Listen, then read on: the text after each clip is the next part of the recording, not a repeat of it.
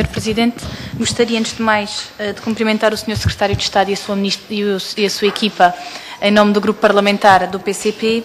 Eh, de facto, eh, começava por lhe dizer que o Sr. O senhor Secretário de Estado um, teve a iniciativa de falar sobre uma questão que ninguém lhe perguntou.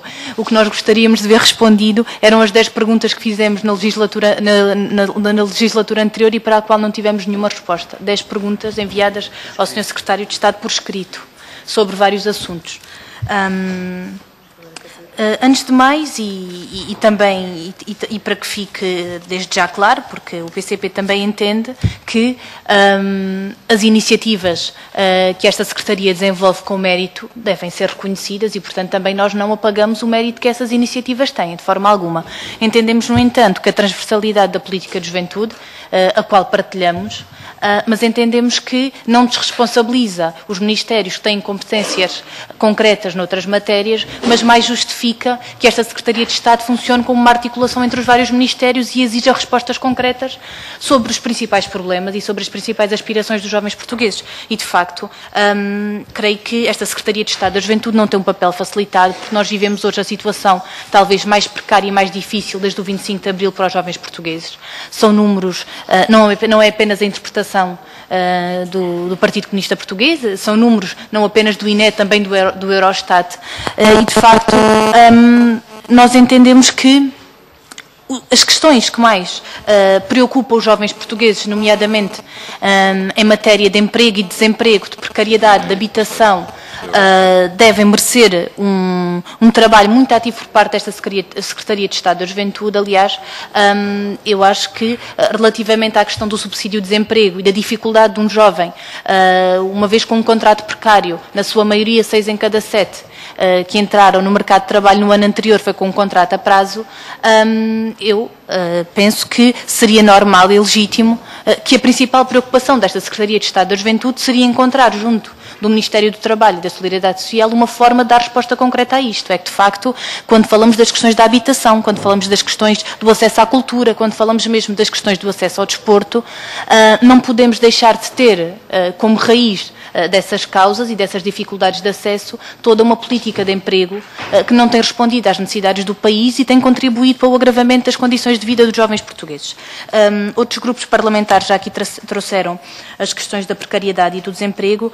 Um, ainda assim, gostaria de um, lhe dizer que um, imagino que o Sr. Secretário de Estado tenha esta informação, ainda assim gostaríamos de lhe partilhar que em setembro de 2009 mais de 42% das novas inscrições nos centros de emprego foi devido à não renovação dos contratos. Significa isto que uh, a precariedade assume hoje uma situação de antecâmara do desemprego que nós entendemos que uh, merece e deve merecer por parte uh, desta Secretaria de Estado da Juventude um, uma posição junto do Ministério do Trabalho para, incentivar a resolução deste problema.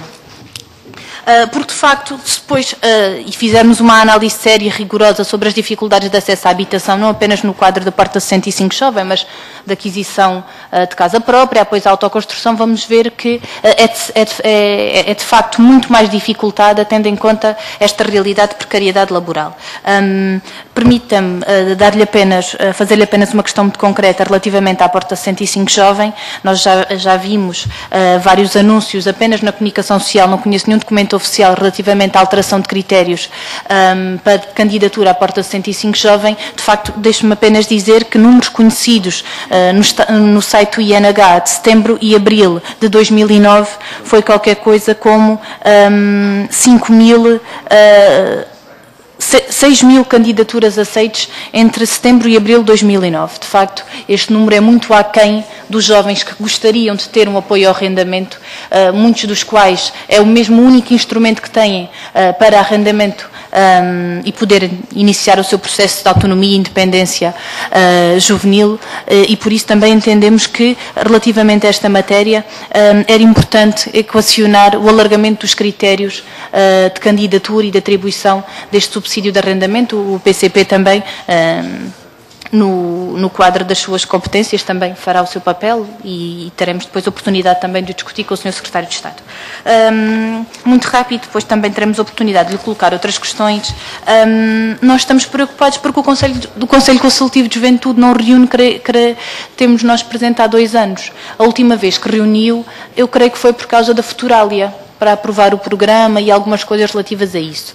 Posso estar enganada, um, admito que sim, era importante que o, o Sr. Secretário de Estado nos pudesse elucidar sobre esta matéria. De facto, mais grave é nós termos ido ao, ao site um, do Conselho Consultivo da Juventude, ao site do Governo que remete para, para, para esta matéria e o que nos aparece é esta página, a dizer a página solicitada não existe, não pode ser visualizada nas suas várias uh, tentativas de aceder ao conhecimento sobre esta matéria.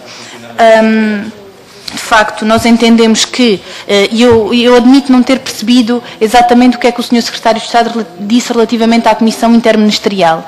Eu creio que o Sr. Secretário de Estado disse que ainda não reuniu porque nesta legislatura, porque estão à espera uh, do, do, Orçamento de Estado. Eu queria perguntar quantas vezes reuniu na anterior legislatura e quais foram as conclusões a que chegou, porque de facto nós não conhecemos, admitimos que não, que não, que não, não, não, não tínhamos chegado a essa informação, de facto, uh, mas não conhecemos e gostávamos de saber, de facto, qual é que foi uma, uma das medidas que esse Conselho Interministerial da Política de Juventude um, apresentou à juventude portuguesa.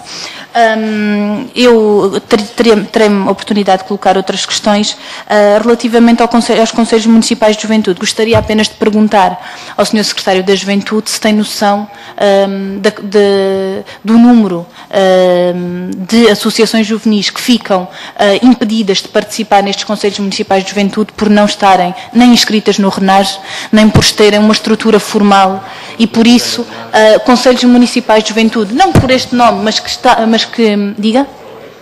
Uh, Conselhos Municipais de Juventude que tinham já fóruns de juventude, e posso lhe dar, por exemplo, o exemplo da Câmara Municipal do Seixal, que funcionava o Fórum de Juventude com cerca de 100 organizações juvenis formais e informais, com a aplicação desta lei, ficam a participar quatro associações juvenis. Isto, de facto, não é contribuir para a participação e para o reforço da cidadania. Obrigada.